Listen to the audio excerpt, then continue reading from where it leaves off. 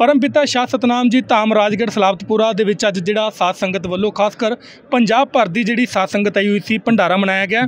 ਤੁਹਾਨੂੰ ਤਸਵੀਰਾਂ ਦੇ ਰਾਹੀਂ ਦਿਖਾਵਾਂਗੇ ਕਿ ਸਾਧ ਸੰਗਤ ਦੇ ਲਈ ਜੋ ਪ੍ਰਬੰਧਕੀ ਸੰਮਤੀ ਵੱਲੋਂ ਇੰਤਜ਼ਾਮਾਤ ਕੀਤੇ ਗਏ ਸੀ, ਬਿਲਕੁਲ ਫਿੱਕੇ ਪੈ ਗਏ। ਆ ਤਸਵੀਰਾਂ ਤੁਹਾਨੂੰ ਦਿਖਾ ਦਿੰਦੇ ਕਿਉਂਕਿ ਮੌਸਮ ਦਾ ਵੀ ਮਿਜ਼ਾਜ ਬੜਾ ਨੁਕਸਾਨ ਵਾਲਾ ਸੀਗਾ ਕਿਉਂਕਿ ਬਾਰਿਸ਼ ਬਹੁਤ ਜ਼ਿਆਦਾ ਹੋਈ ਸੀ।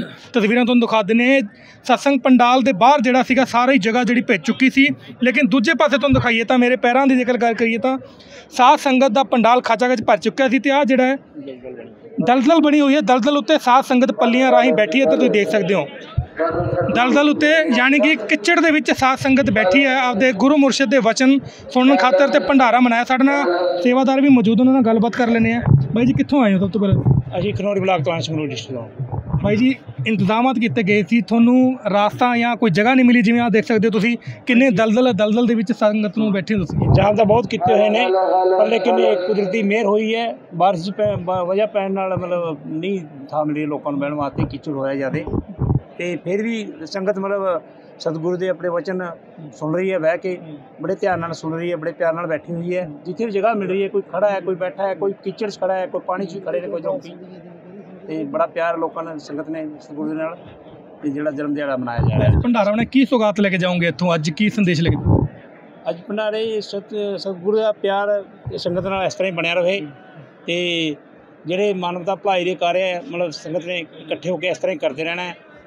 ਇਹ ਆਪਣਾ ਇਕੱਠੇ ਹੋ ਕੇ, ਇਕਜੁੱਟ ਹੋ ਕੇ ਕੰਮ ਕਰਨਾ ਹੈ ਜੀ। ਬਾਕੀ ਜਿਹੜਾ ਸਾਧ ਸੰਗਤ ਦਾ ਪੂਜਨ ਗੁਰੂ ਜੀ ਪ੍ਰਤੀ ਜਿਹੜਾ ਪਿਆਰ ਹੈ, ਬਹੁਤ ਹੀ ਠਾਠਾ ਮਾਰਦਾ ਸਮੁੰਦਰ ਹੈ, ਕੋਈ ਤਾਰੀਫ ਕਰਨ ਦੀ ਲੋੜ ਨਹੀਂ, ਪ੍ਰਥ ਨੂੰ, ਪ੍ਰਤੱਖ ਨੂੰ ਪ੍ਰਮਾਣ ਦੀ ਲੋੜ ਨਹੀਂ। ਤਸਵੀਰਾਂ ਤੁਹਾਨੂੰ ਦਿਖਾ ਦਿੰਦੇ ਆ ਇਹ ਪੰਡਾਲ ਤੋਂ ਕਾਫੀ ਦੂਰ ਅਸੀਂ ਮੌਜੂਦ ਹੈ। ਤੇ ਜਿਹੜੀ ਪਗਡੰਡੀ ਹੈ ਖੇਤਾਂ ਦੀ ਉੱਥੋਂ ਸੰਗਤ ਆ ਰਹੀ ਹੈ। ਕਿਉਂਕਿ ਸਾਰੇ ਇੰਤਜ਼ਾਮਾਤ ਤੁਹਾਨੂੰ ਦੱਸਿਆ ਬਿਲਕੁਲ ਫਿੱਕੇ ਪੈ ਗਏ ਸੀ। ਕਿਚੜ ਦੇ ਵਿੱਚੋਂ ਸੰਗਤ ਤੁਸੀਂ ਦੂਰ ਦੇਖ ਰਹੇ ਹੋ। ਇਹ ਇੱਕ ਮਾਤਰ ਜਗ੍ਹਾ ਬਚੀ ਸੀ ਕਿਉਂਕਿ ਪਾਣੀ ਬਹੁਤ ਜ਼ਿਆਦਾ ਸੀਗਾ ਚਿੱਕੜ ਸੀਗਾ।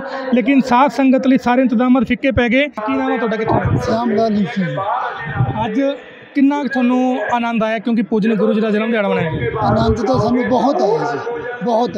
ਇਹ ਤਾਂ ਕੁਝ ਵੀ ਨਹੀਂ ਜੀ ਹੈਗਾ। ਅਗਰ ਬਾਰਿਸ਼ ਵੀ ਹੁੰਦੀ ਸੰਗਤ ਫੇਰ ਵੀ ਰੁਕਦੀ यहाँ ਮੈਂ ਮੋਹਾਲੀ ਜ਼ਿਲ੍ਹੇ ਤੋਂ ਹਾਂ ਜੀ ਬਲੌਗ ਸਾਡਾ ਡੇਰਾ ਬਸੀ ਸਾਨੂੰ ਇਤਨਾ ਆਨੰਦ ਮਿਲਿਆ ਕਹਿਣਾ ਸੁਣਨੇ ਤੋਂ ਪਰੇ ਕੀ ਸੰਦੇਸ਼ ਕੀ ਲੈ ਕੇ ਜਾਓਗੇ ਇੱਥੋਂ ਅੱਜ? ਸੰਦੇਸ਼ ਤਾਂ ਜੋ ਮਾਲਕ ਤੋਂ ਅਸੀਂ ਇਸ ਮਹੀਨੇ 'ਚ ਮੰਗ ਰਹੇ ਹਾਂ ਸਾਨੂੰ ਸਭ ਕੁਝ ਮਿਲਿਆ ਜੋ ਅਸੀਂ ਅਰਦਾਸ ਕਰੀ ਪਿਤਾ ਜੀ ਨੇ ਦਾਤ ਦੀ ਦੁੱਧ ਦੀ ਪੁੱਤ ਦੀ ਜਿੰਦੀ ਵੀ ਕਰੀ ਸਾਡੀ ਸਾਰੀ ਮਨੋਕਾਮਨਾ ਪੂਰਨ ਹੋ ਗਈ। ਪੂਰੀ ਹੋ ਗਈ।